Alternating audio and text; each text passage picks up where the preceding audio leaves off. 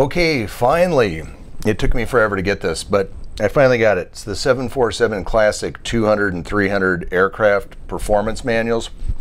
It took me forever to find this thing, but uh, for you flight sim guys that are wanting to know what the max weight that you can take off for a certain runway, etc., what the landing weights are, or what you know landing speeds are based on various weights, all that information is is in this document, and I'll show you where you find it.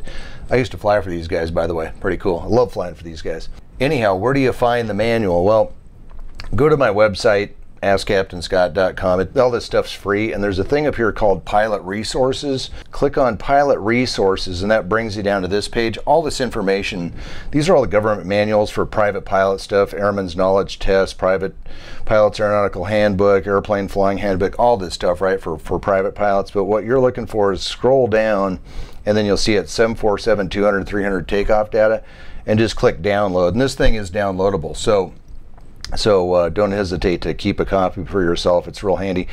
Um, what it has in here, it has, that's just a picture I put in there. That's not, again, the company's manual. But what it has is a list of all these different airports in here, right? You can go to the flaps 10 takeoff data for those airports, flaps 20 takeoff. Usually use flaps 20 when you're a lot heavier because you need to get the airplane off the ground, right? Remember, when you take off the flaps 20, man, your fuel burn is going to go sideways. I mean, you take off in this old bird, at flaps 20 and it eats up gas. It's not like how they improved it on the 747 and now the 777 that I'm on now.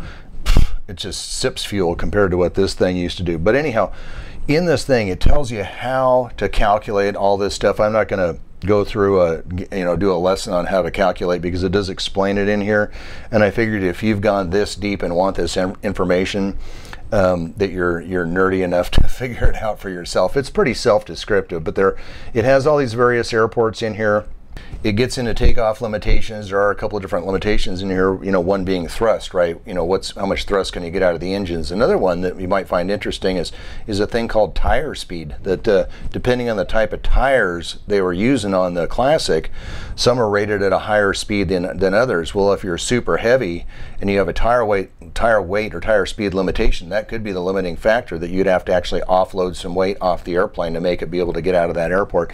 Um, we ran into that in Africa um, quite frequently when we were using one type of tire. We switched tires, and then that that alleviated the problem. Another thing that you'll find in here, takeoff for under uh, runway clutter adjustments. If you do have slush on the runway, you can see based on the weight that uh, what type of a penalty you're going to get as far as how much extended or how much longer that takeoff distance is going to be. It's interesting now, you know, this stuff was all calculated by the engineer. I was a captain on the thing, right? So, so I just look at the engine, I drink my coffee and have the engineer calculate that, and then he just hand me up this thing with all the written speeds on it, and and uh, so yeah, did I spend a lot of time in this book? No. Do I know how to use it? Yeah, but boy, it's it's a to me it's a super boring. So anyhow, it does have all the cool information you're looking for, you know, for the flight sim guys. Or if you buy yourself a classic uh, and want to go and fly it around, this will have all it in it. And then right here we have a correction for takeoff, headwind, tailwind, and crosswind components. So it, it, again, it has everything in it right here. Next is the N1 thrust setting chart, and you can see based on what the actual outside temperature is, what kind of thrust you should be able to obtain on those engines. And then when you start getting down into these charts right here, you can see it, it, it gives the name of the airport. So, so in figuring out the calculations, if it doesn't have the name of the airport you want in here, you can look at the elevation of, of Sapporo, Japan. It's 70 feet. It says it right here. So you can dig through and you know you kind of know what the elevation is of these type airports. Most of them are you know anywhere between that and 500 feet. So find somewhat something close in the area, and and you'll be you'll be pretty good to go. You know, so 70 feet and okay, well let's say I'm doing Seattle. If I don't have a chart for Seattle, eh, the field elevations there is probably like I don't know 300 or something. Will that chart work? Yeah, good enough. You know, you're flying a sim, so but if you really want to get into it, yeah, these aren't out or you know categorized by feet. You know, all these airports just have to kind of dig through it and see which one you're looking for.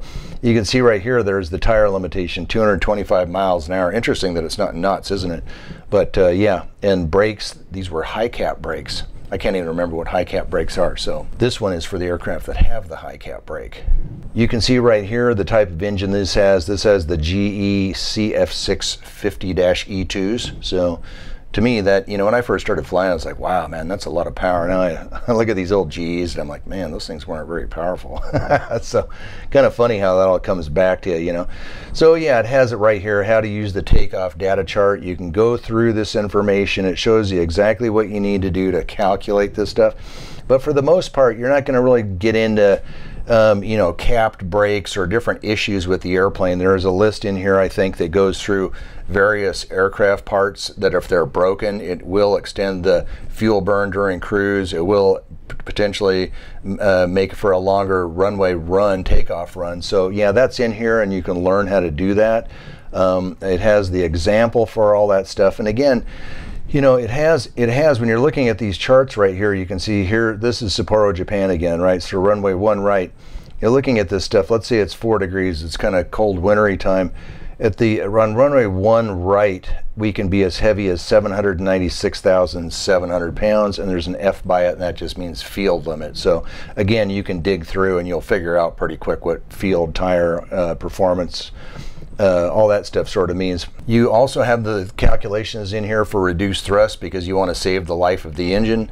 Reduced thrusts uh, takeoffs are good to do. I don't know how effective that is for on your sim if you start running into engine troubles if you start doing max takeoff weights all the time. I guess it's probably not, but I'm sure there's settings that you have in there that you can set that. So if you really want to get into the meat and potatoes, start doing reduced thrust takeoffs. And again, it's like okay, you say you got a 10,000 foot long runway, right?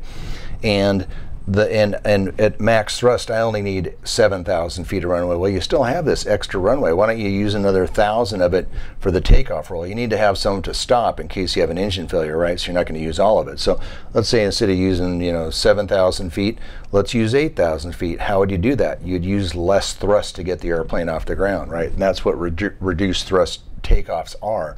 We do those all the time in the 777. We did them on the 400 too. Again, it's descriptive. There's a chart that tells you how to read this stuff. And when you do use reduced thrust, that is going to change V1, VR, and, and V2 speeds. So just make a note of that, that, you know, you can just find a generic speed in here with no reduced thrust. But if you're going to use reduced thrust, that will change V1, VR, and V2. Here's the example right here, how to use the uh, thrust data chart, so that's right there. Okay, landing limitations, that information is sitting right in here. And again, there is, look at, look at how many pages there are of this stuff. Let me see, there's a 1,017 pages of information for you to dig through. So again, it's downloadable, you know, knock yourself out. And again, you just go, go to the website and, um, you know, it has the information right here. Once again, just to get there, you got to go up to the top. You go to the AskCaptainScott.com and it's under Pilot Resources, and that's where the information is. So, anyhow, hope you have fun with it. I mean,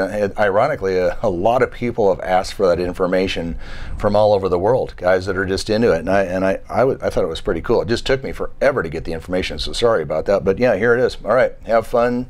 See you later.